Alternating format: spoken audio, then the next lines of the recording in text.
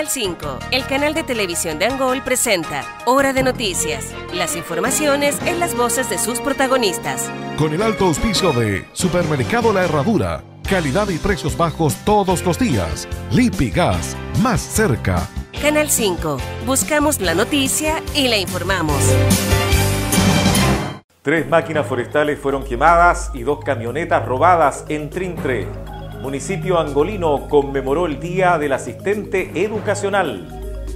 Hola, ¿qué tal? ¿Cómo están todos? Bienvenidos. Comenzamos informando como cada día en conjunto con Radio Angol FM en su frecuencia 97.1. Tres máquinas de uso forestal quemadas y dos camionetas robadas fue el saldo que dejó un nuevo hecho de violencia ocurrido la mañana de este viernes en el sector rural de Trintre, la comuna de Los Sauces. El hecho ocurrió cerca de las 8 horas en un camino interior del fondo La Torre, en el sector de Trintre, en la provincia de Mayeco. El día de hoy se recibió una llamada de emergencia por parte de trabajadores forestales, indicando que en el fondo La Torre, ubicado en el kilómetro 78 de la ruta R86 que une las comunas de Los Sauces con Angol, individuos desconocidos portando armamento largo, encapuchados, interceptaron dos vehículos en que se trasladaban trabajadores forestales, procediendo a sustraer estos vehículos. Ingresado al terreno y efectuado un recorrido, se encontraron además tres maquinarias en combustión. Además, personal encontró un lienzo alusivo a la causa mapuche. Otro hecho de violencia en la ruta R86 en la provincia de Mayeco. Se lo señalamos a la ministra del Interior y a la ministra de Defensa y las Express cuando se prorrogó el estado de excepción. La provincia de Mayeco han aumentado los hechos de violencia durante este estado de excepción. Aquí hay que tomar otras medidas que vayan en resguardo de la ciudadanía y la paz. El estado de excepción es insuficiente y por otro lado, el presidente de la República debe venir a la región de Araucanía y particularmente a la provincia de Mayeco y entrevistarse con las víctimas. Este viernes, en el Teatro Municipal de nuestra ciudad, se realizó la ceremonia de celebración del Día del Asistente de la Educación. En la oportunidad se reconocieron a los funcionarios que se acogieron a retiro y de igual forma a quienes cumplieron 30 años de servicio. En la actividad estuvo presente el alcalde Enrique Neira, el director provincial de educación Marco Benedetti, entre otras importantes autoridades locales. Yo diría más que el día es más que nada reconocer el extraordinario trabajo e imprescindible trabajo que realizan nuestras y nuestros asistentes de la educación. Si bien es cierto, está enmarcado dentro de un día por razones de calendario, pero tal como lo hacemos con el Día de la Mujer, el Día del Padre, el Día del Niño, eh, estos son días que verdaderamente uno debiera tenerlos en la mente permanentemente. Hoy día estamos muy contentos, se ha realizado un hermoso acto, una ceremonia en la cual se ha reconocido la trayectoria también de aquellas y de aquellos funcionarios que han cumplido 30 años de servicio. Pero además de esos funcionarios que han cumplido 30 años también, hemos reconocido a quienes ya se acogieron a su muy merecido descanso. Así que simplemente decirle gracias a ellos, que esperamos que la salud de aquí en adelante los acompañe. Es una etapa más complicada, compleja, pasar al, a ser adulto mayor, indudablemente que uno siempre dice, ojalá que la salud les acompañe. Así que también saludar a todas y a todos los asistentes de la educación que hoy día están en ejercicio en los distintos establecimientos educacionales de nuestra comuna. Eh, agradecer indudablemente el extraordinario trabajo que realizan en beneficio de la educación de nuestra y de nuestros niños. Siempre uno piensa, ¿se podrá llevar a cabo el proceso educativo sin asistentes de la educación en los establecimientos educacionales? Indudablemente que no. Así que por eso nosotros queremos fortalecer lo que significa el quehacer, el trabajo y el compromiso de nuestra y de nuestros asistentes de la educación en el sistema educacional de la Comuna de Angol. Bueno, nosotros somos muy agradecidos a la gente que nos colabora, sobre todo en la parte educacional, entendiendo que la educación hoy día es un poco más compleja que, tiempo atrás y necesitamos de todas las ayudas posibles.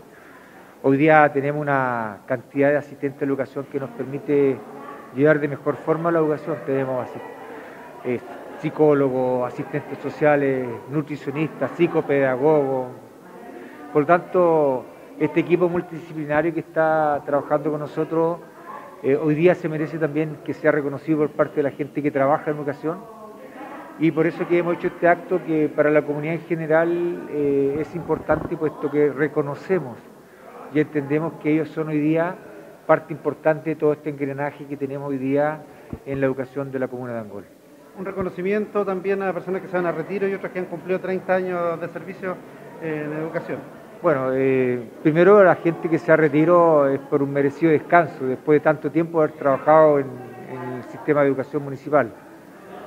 Y la gente que cumple 30 años de servicio es algo que no todos logran tener. Eso significa que ha llegado gente a muy temprana edad, ha trabajado en la educación municipal, conoce el sistema, se ha mantenido y eso refleja que de alguna manera es un buen nicho laboral trabajar en la educación municipal de la comuna de Angol. La verdad es que yo trabajé durante largos años en la dirección de educación dependiente del municipio, desde el traspaso de la educación del ministerio al, ámbito municipal.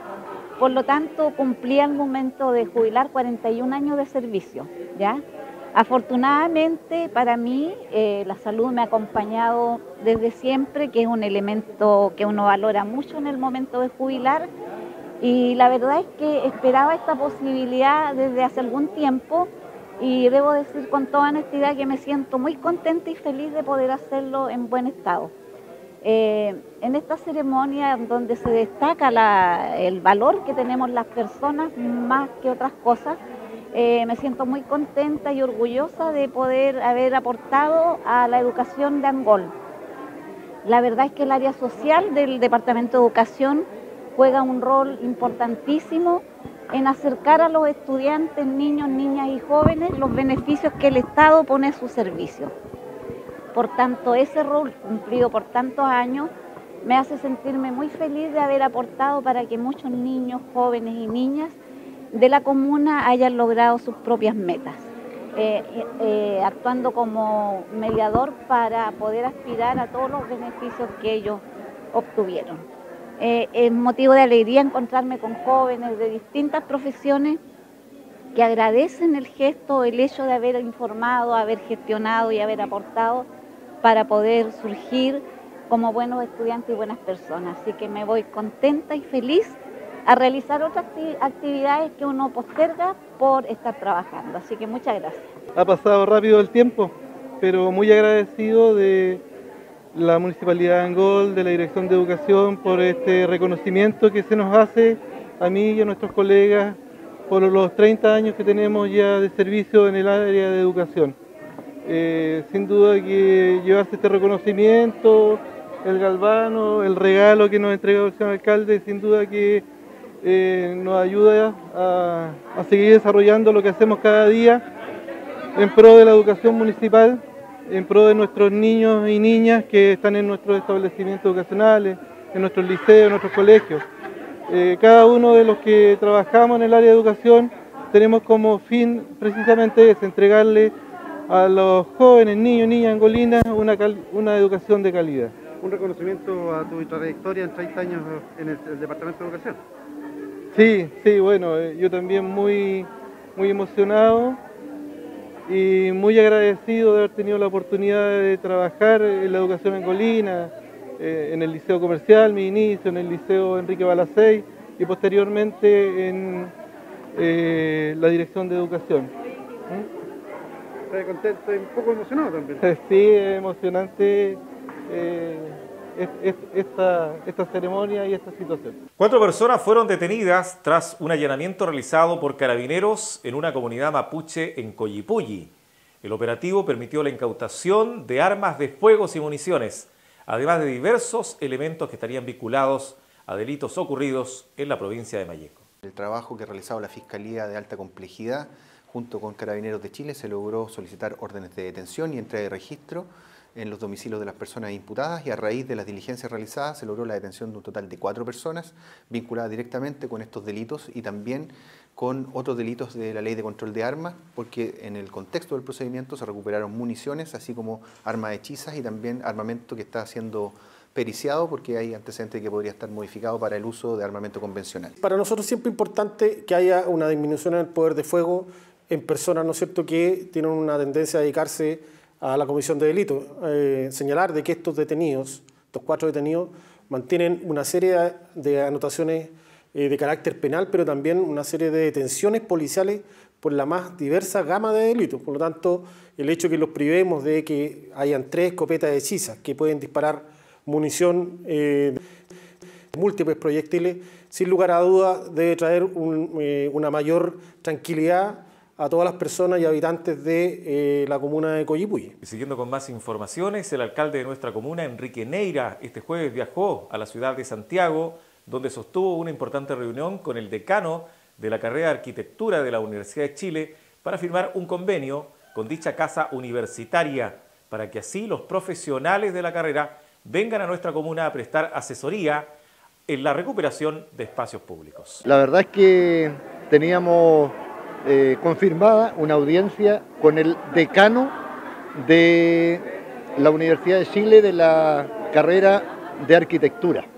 Eh, hacía algún tiempo que habíamos tomado contacto con él eh, junto a Mar Riquelme, que es nuestro asesor urbanista, en el sentido de que queríamos firmar un convenio con el decano de la Dirección de Arquitectura de la Universidad de Chile. La verdad que es muy conveniente para nosotros. ¿Qué va a significar este convenio? Que vamos a tener la posibilidad de que profesionales de la Universidad de Chile nos vengan a apoyar, a colaborar y a asesorar en la recuperación de espacios públicos, especialmente. Hoy día con la aprobación del plano regulador, la situación eh, urbanista de la comuna ha cambiado. Por lo tanto, necesitamos tener indudablemente la voz autorizada para que nos colabore en los diseños de lo que va a significar recuperar estos espacios públicos y qué mejor que hacerlo con profesionales de la Dirección de Arquitectura de la Universidad de Chile y además que son absolutamente gratuitos para nosotros. Eh, también vamos a tener la posibilidad de recibir alumnas y alumnos en práctica de los últimos años de la Dirección de Arquitectura, eh, que hoy día es una tremenda necesidad que tenemos los municipios y además también vamos a tener la visita de ellos acá, en Angol, donde vamos a recorrer en conjunto las oportunidades que tenemos en, la comuna.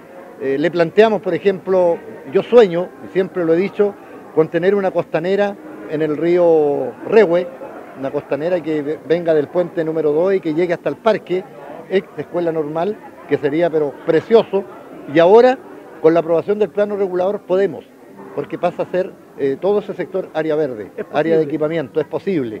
Por lo tanto, dentro de alguna de las tantas inquietudes que tenemos, Así que hacia allá apuntaba esta reunión que tuvimos con el decano y la firma del convenio que por ahí está saliendo en algunas fotografías. fue bastante positiva la reunión. Eh, tremendamente positiva. Estos convenios la verdad es que a los municipios nos sirven muchísimo.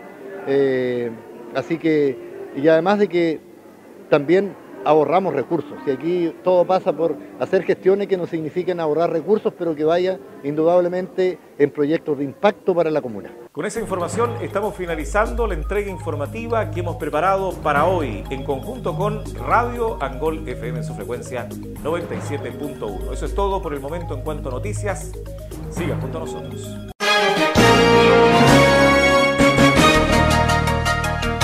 Canal 5, el canal de televisión de Angol, presentó Hora de Noticias. Las informaciones en las voces de sus protagonistas. Con el alto auspicio de Supermercado La Herradura. Calidad y precios bajos todos los días.